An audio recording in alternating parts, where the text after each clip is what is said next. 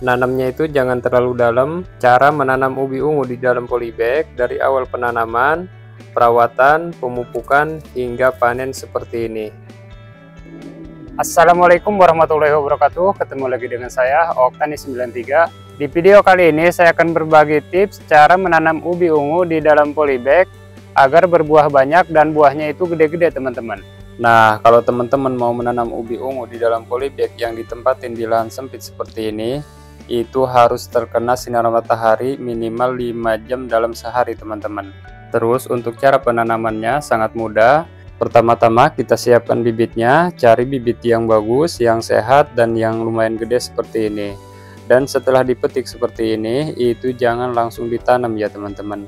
Jadi bibit yang baru kita ambil atau yang baru kita petik eh, seperti ini Saran saya jangan langsung ditanam terlebih dahulu, tunggu uh, getah yang ada di bekas potongan uh, bibitnya ini itu mengering terlebih dahulu atau biarkan uh, bibitnya ini layu terlebih dahulu baru kita melakukan penanaman teman-teman. Jadi bibit yang baru kita potong seperti ini secepat-cepatnya melakukan penanamannya itu satu jam uh, setelah melakukan pemetikan atau pemotongan dan selambat-lambatnya melakukan penanaman setelah uh, bibitnya kita petik seperti ini itu jangan lebih dari lima hari teman-teman jadi bibit yang sudah dipotong seperti ini itu bertahan sampai satu mingguan dengan catatan disimpan di tempat teduh atau ditaruh di tempat yang tidak terkena sinar matahari langsung.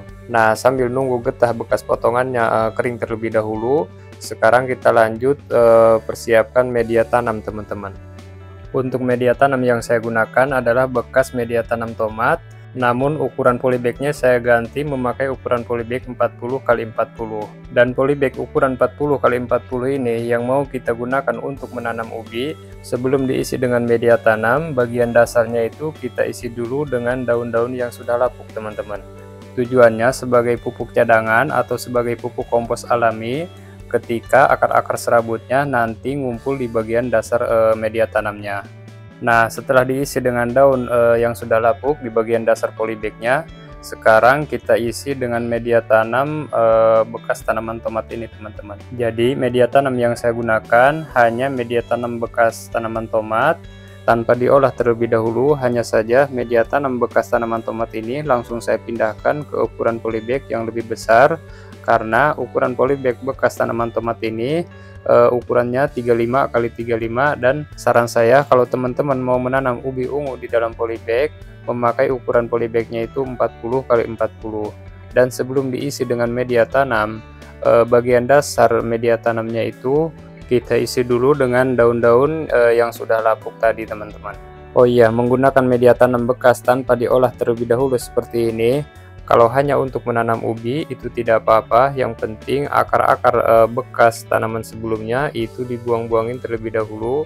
Tapi kalau untuk menanam tanaman yang lain, contohnya seperti tomat, cabai ataupun melon, usahakan media tanam bekas seperti ini kita lakukan e, pengolahan terlebih dahulu sebelum digunakan kembali ya teman-teman.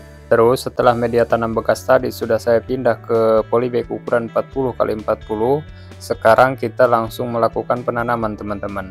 Karena bibit yang saya petik tadi sekitar beberapa jam lalu sudah mulai layu dan dipastikan sudah tidak ada getahnya di bagian e, bekas potongannya teman-teman.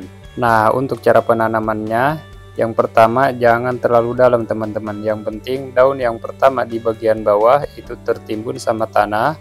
Contohnya seperti ini bisa dibuang e, bisa juga tidak lalu kita tancapin seperti ini jadi yang penting ketiak daun paling bawah ini itu tertimbun sama tanah karena tumbuhnya akar nanti itu ada di ketiak daun teman-teman. Terus yang kedua, melakukan penanamannya itu dalam satu polybag ukuran 40 kali 40 seperti ini, itu jangan e, cuma satu teman-teman. Saran saya melakukan penanaman dalam satu polybag itu tiga bibit sekaligus dengan cara dipisah atau dikasih jarak di antara bibit ke bibit. Artinya jangan digabungin atau dirapetin ke tiga bibit ini teman-teman.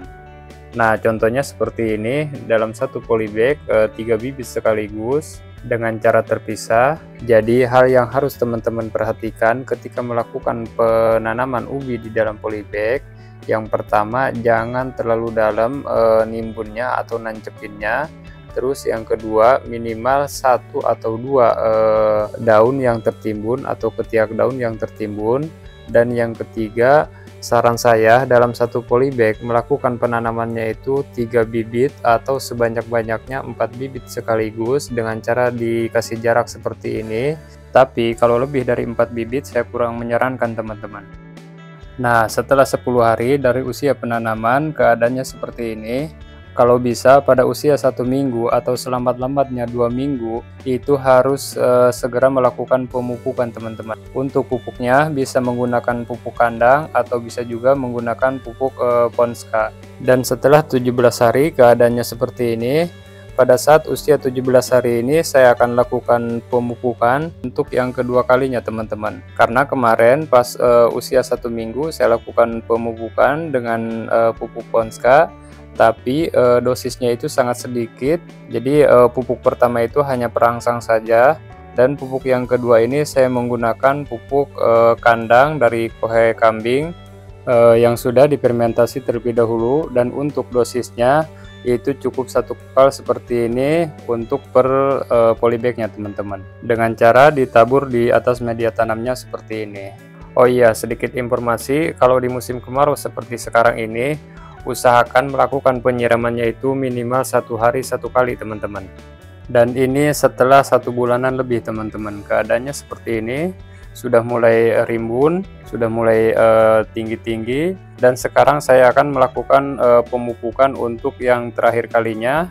Saya menggunakan pupuk NPK 1616 teman-teman. Untuk dosis pupuk NPK 1616 ini cukup satu sendok teh kecil uh, di setiap polybagnya teman-teman karena di setiap satu polybagnya ini ada tiga tanaman sekaligus. Jadi satu sendok teh kecil pupuk eh, NPK 1616 itu untuk pemupukan tiga tanaman teman-teman. Dan setelah tiga bulanan keadaannya seperti ini sangat rimbun hijau subur dan sampai menjalar ke bawah-bawah. Untuk eh, penyiramannya eh, akhirnya saya pasang tetes drip semua karena di musim kemarau ini kalau harus disiram manual itu sangat kerepotan ya teman-teman. Jadi semuanya saya pasang tetes strip e, otomatis seperti ini. Jadi meskipun tanaman ubi ini sangat mudah tumbuh tapi untuk e, penyiraman itu sangat penting karena kalau media tanamnya sering kekeringan apalagi pada saat proses pembuahan itu akan berpengaruh pada buahnya nanti teman-teman jadi usahakan melakukan penyiramannya itu minimal satu hari satu kali.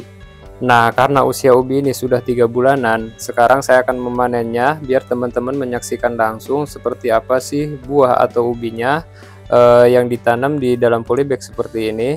Namun kita pangkas terlebih dahulu untuk mempermudah panennya nanti teman-teman. Terus yang kedua, kalau teman-teman mau memanen ubi yang ditanam di dalam polybag seperti ini, itu jangan disiram terlebih dahulu 3-5 hari tujuannya agar media tanamnya itu kering dan ketika melakukan pemanenan itu tidak lengket teman-teman lalu kalau dipasang tetes otomatis seperti ini itu kita matiin e, tiga hari atau lima hari sebelum melakukan pemanenan nah setelah dipangkas seperti ini sekarang kita bongkar apakah ada buahnya atau tidak namun proses panennya ini saya akan percepat saja ya teman-teman karena e, proses panennya itu sudah saya upload di video saya sebelumnya.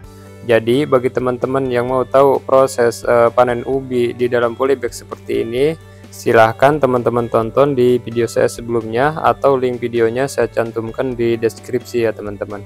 Oh iya, inilah alasan saya pada saat e, pengisian media tanam ke dalam polybag Terus di dasar polybagnya itu saya isi dengan daun-daun yang sudah lapuk terlebih dahulu teman-teman. Nah bisa teman-teman lihat akar-akar serabutnya ini ngumpul di bagian bawah atau di bagian dasar e, medianya dan fungsi dari daun lapuk yang ditaruh di bagian dasar media tanamnya itu sebagai pupuk kompos alami agar eh, akar-akar serabutnya itu tumbuh dengan uh, maksimal teman-teman. Dan alasan saya yang kedua kenapa pada saat melakukan penanaman atau pada saat nancepin uh, bibit ke media tanam itu tidak usah dalam-dalam karena buah atau umbinya itu tidak terlalu jauh dari pangkal bibitnya teman-teman. Dan proses pembesaran buahnya itu umumnya ke samping dan ke bawah jadi kalau teman-teman e, melakukan penanamannya terlalu dalam, ketika ubinya ini berbuah, akan mentok ke dasar media tanamnya teman-teman dan itu sangat mengganggu pertumbuhan buah umbinya itu sendiri. Terus alasan saya jangan menanam hanya satu bibit saja dalam satu polybagnya, ini dia teman-teman. Ketika berbuah, kalau satu bibit buahnya hanya satu, minimal kalau tiga bibit yang kita tanam dalam satu polybag itu sudah ada tiga buah yang dihasilkan teman-teman. Tapi kalau hanya satu, itu mungkin satu aja buahnya. Tapi kalau tiga seperti ini, minimal uh, buahnya itu lebih dari tiga ya teman-teman. Mungkin cukup sekian video kali ini, semoga video ini bermanfaat. Jangan lupa like dan subscribe-nya. Bagi teman-teman yang sudah subscribe dan sudah menonton video ini sampai selesai, saya ucapin banyak-banyak terima kasih. Semoga teman-teman semua selalu dikasih kesehatan, ditambahkan rezekinya, dan dipermudah segala urusannya. Amin, amin, ya rabbal alamin. Sekian, Assalamualaikum warahmatullahi wabarakatuh.